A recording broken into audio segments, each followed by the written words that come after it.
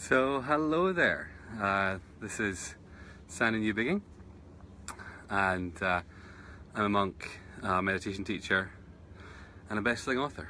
Um, and I wanted to uh, come on tonight to talk about purpose, magic and the island of Patmos and the island of Patmos. So I'm calling in today uh, from uh, Greece uh, and an island called Patmos in Greece. It's a very sacred island.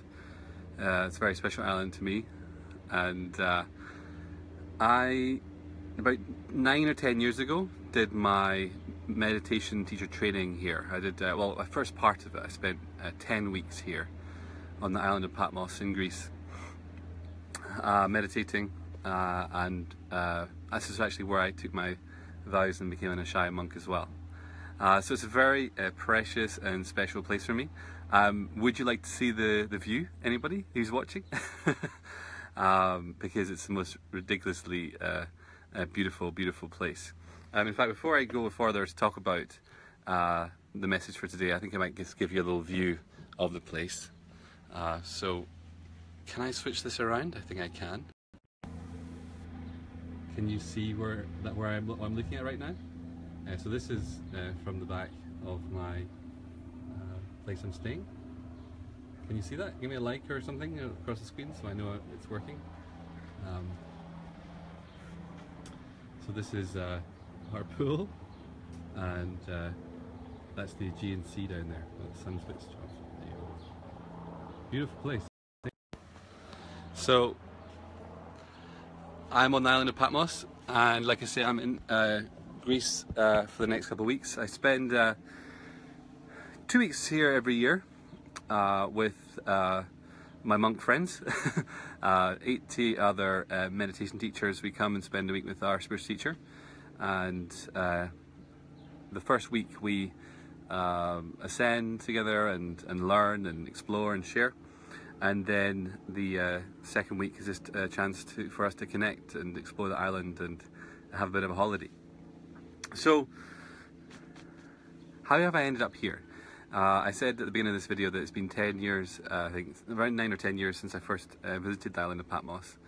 Um, and I came here because 18 months prior to my first visit here, I was having a really difficult time.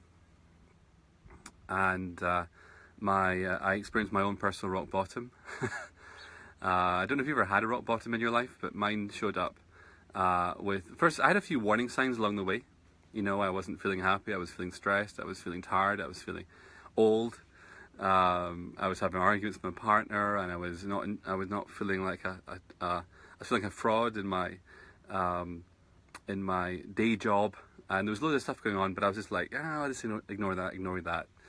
Um, and then eventually uh, everything came to a head and I uh, found myself uh, losing the partner uh, that I was with. The girl, my girlfriend left. Uh, along with her, she took a child they'd been raising together because she wasn't biologically mine, so I lost her at the same time. So kind of two people I loved uh, disappeared overnight. Um, there was too many memories in the house that I was staying in with them, so I moved out of the fancy place as well, and that we've been staying in uh, in Edinburgh. Uh, the, the fancy Range Rover car went, you know, um, we just signed a £75,000 book deal together and, and uh, that went with the relationship.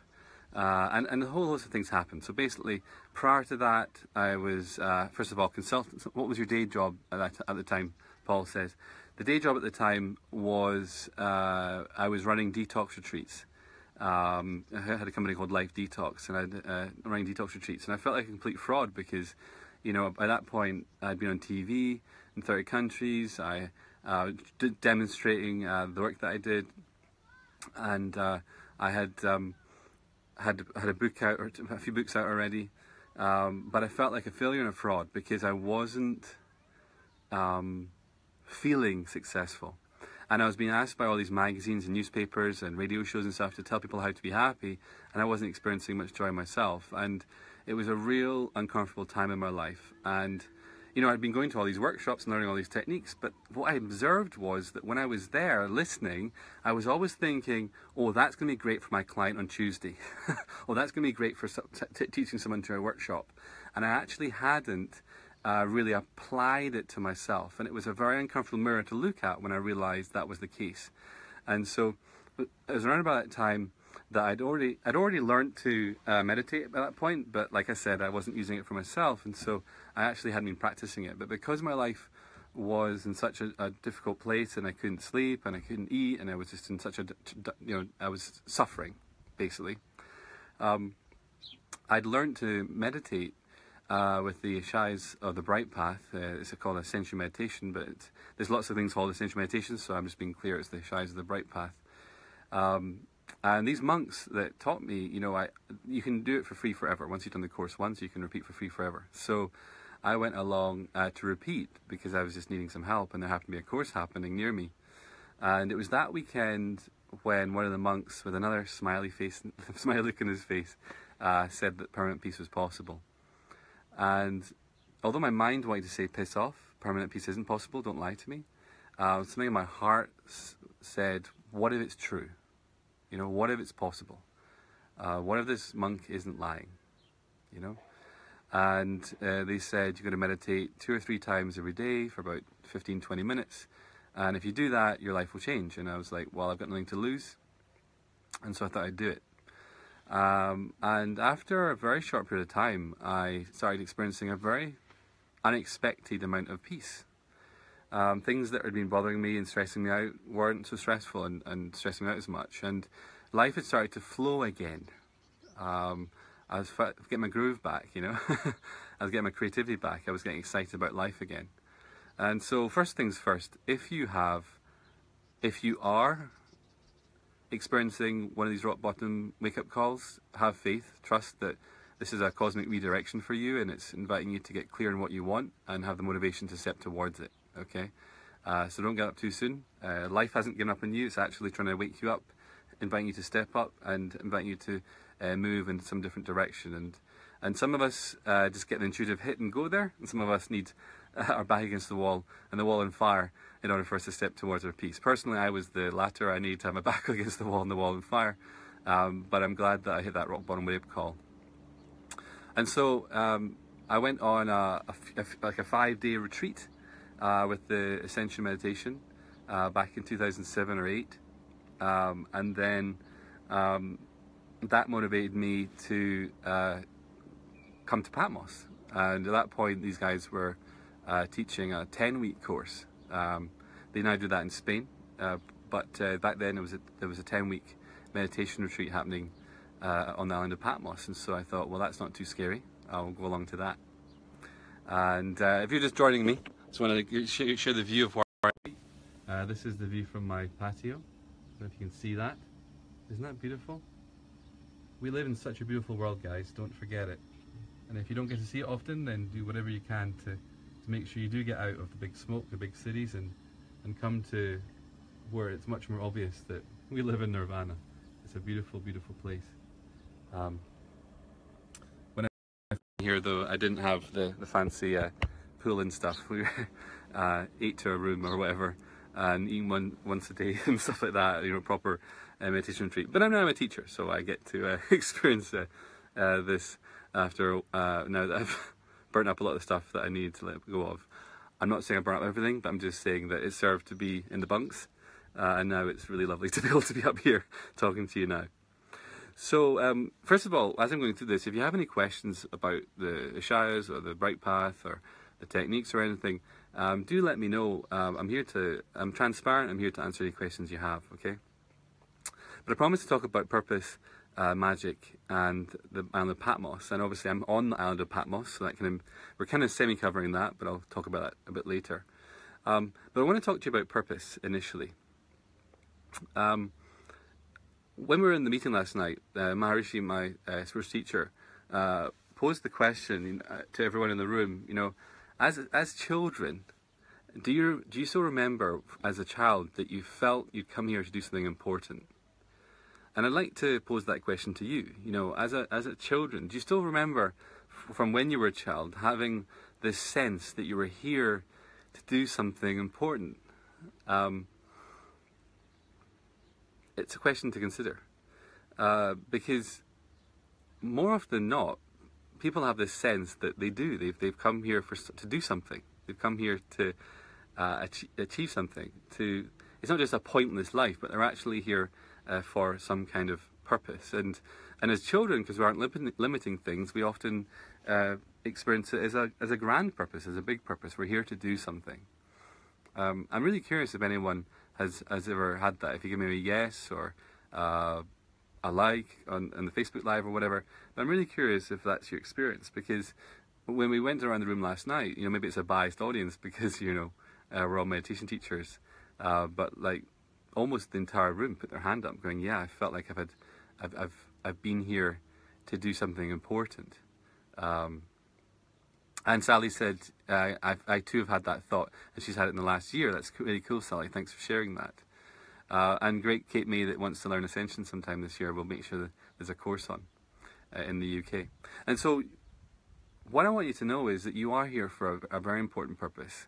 And the more you uh, are willing to have life move you uh, in directions you might not think you want to go, uh, the more quickly you can actually achieve that. But one of the first steps to do that is to actually, before you start trying to move anywhere new, is to actually, first of all, get still. Um, we are very much caught up in the movement of our minds if we haven't got some sort of regular meditation practice. Um, if it's not if it's not a chaotic mind, uh, we're still being often governed by the, the thoughts in our head, uh, the voice in our head that sounds like us. That can be very limiting if we are going to rely on the voice in our head to tell us how we're getting on and what we should do with our life, because the voice in our head is limited to what it's learned. It's limited to what it's observed in, in its lifetime, and it's limited to what it's observed and, and learnt along the way. Um, they say there's no original thought, and it's, it's very true. The chances are your purpose is something potentially that you haven't even heard of or know about yet. Uh, and so it's really important not to necessarily rely on solely the voice in your head to tell you, uh, A, what you're capable of, but B, what you're here to do.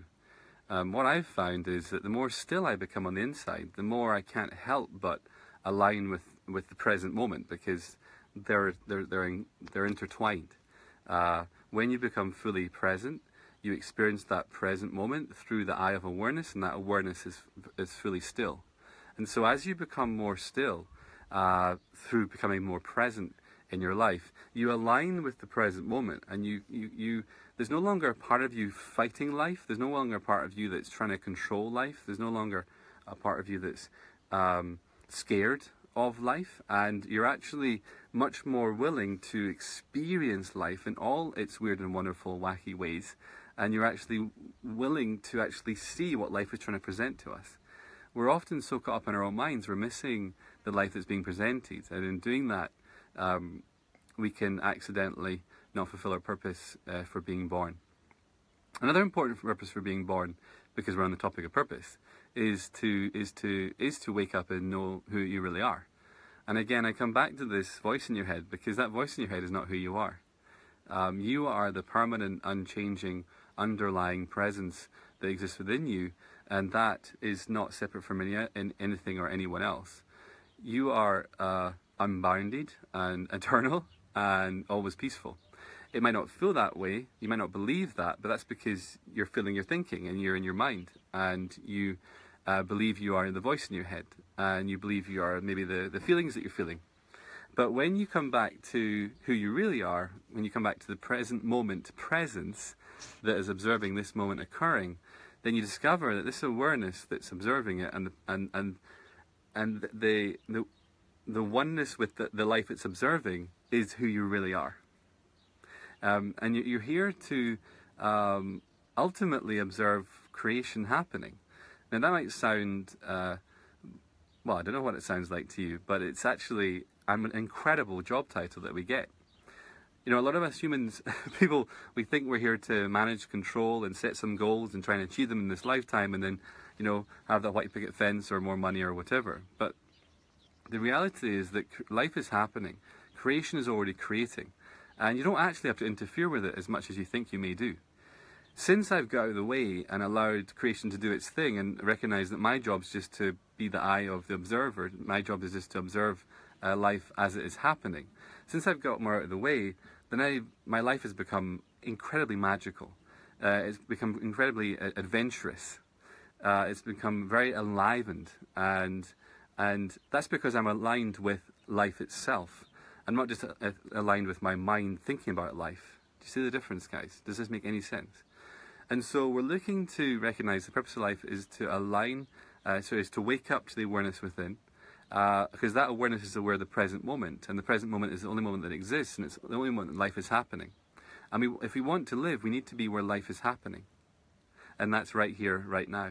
But again, most of us are caught up in our thoughts, thinking about times, spaces, and all that that aren't even present right now. Happened last week, happened earlier today, happened when we were five, or might happen later. But there's very little attention or focus giving to the only moment that actually exists, which is right here and right now. And the more you re- wake up to the present moment, the more you discover that it's not filled with the problems that you thought it was. But actually, the present moment is, is the most magical thing on earth. Life is being created in front of you all the time. It's like this conveyor belt of magic just coming towards you 24 7. And without a mind that's going to judge it as bad and wrong or worse or negative, it's actually all pretty amazing. It's, it's, it's like fascinating. It's an amazing gift to have life.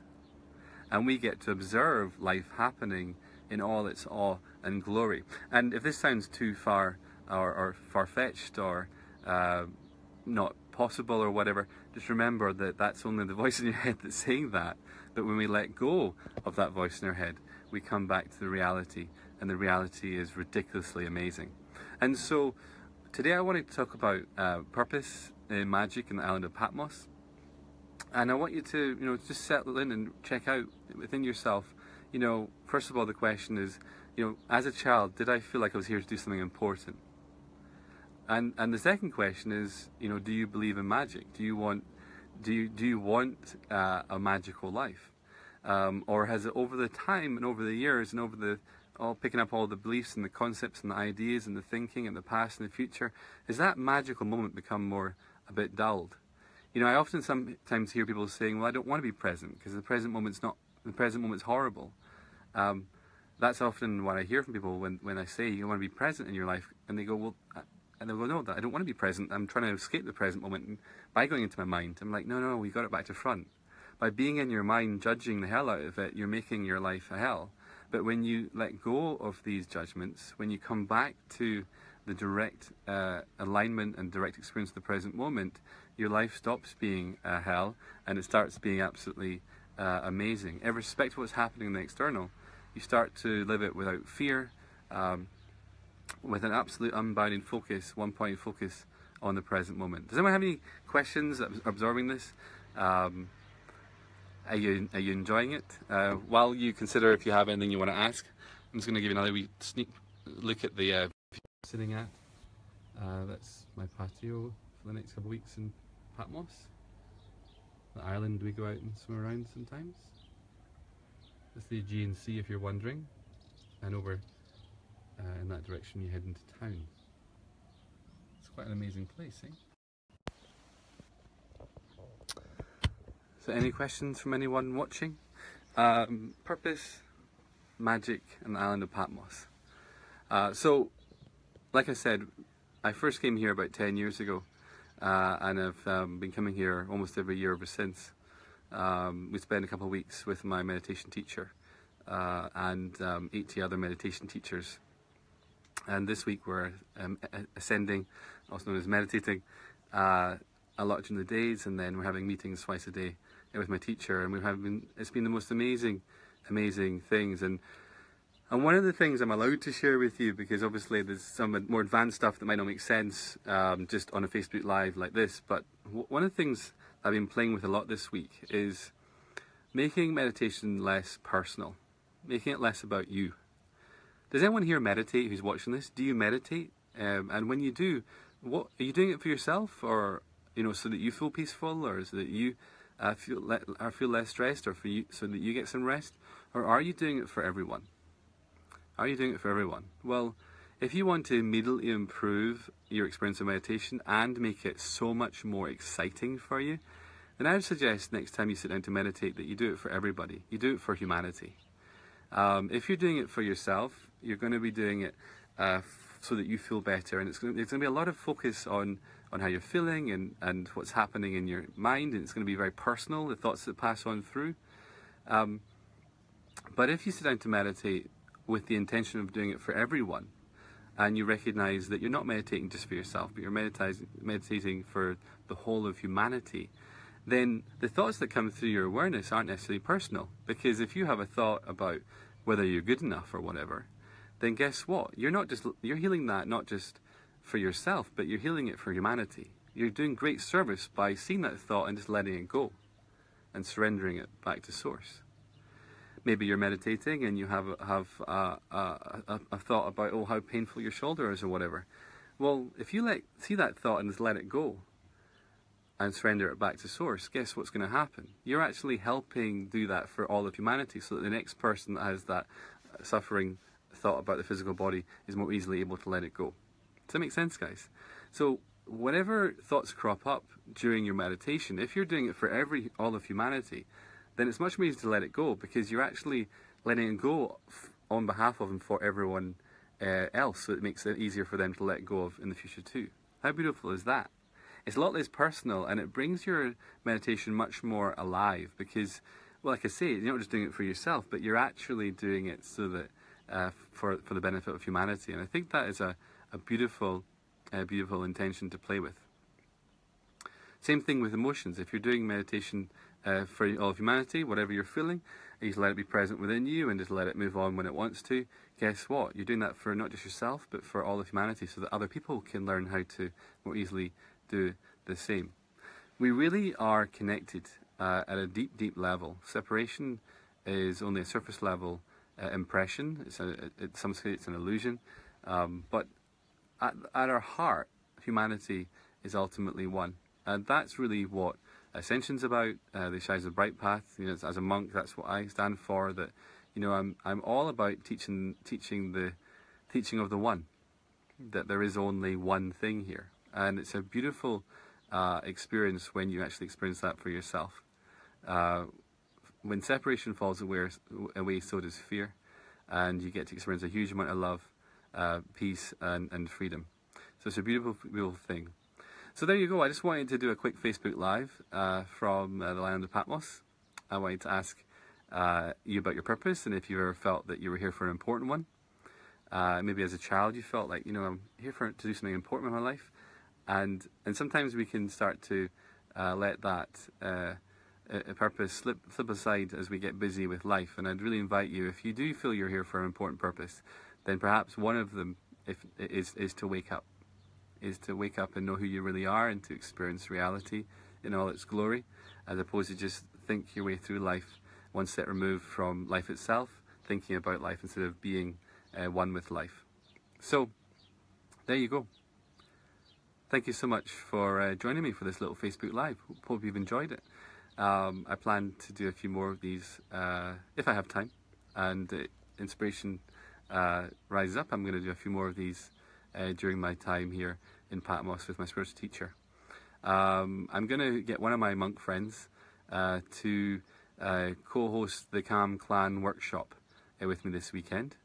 The third weekend of every month, I always run an online two-hour workshop uh, inside my calmclan.com website. If you enjoy this and if you enjoy learning with me and from me and through me, um, then you might want to check out calmclan.com calmclan.com. And the first month is free, so you can join us uh, for the whole next 30 days uh, at no cost. And suss out if you want to find out more. But I'm going to have a really cool workshop with my one of my monk friends. Uh, you're going to join me, and we're going to share uh, all about uh, peace and meditation and living consciously and conscious relationships and loads loads of different topics we're going to cover in the time we have this weekend.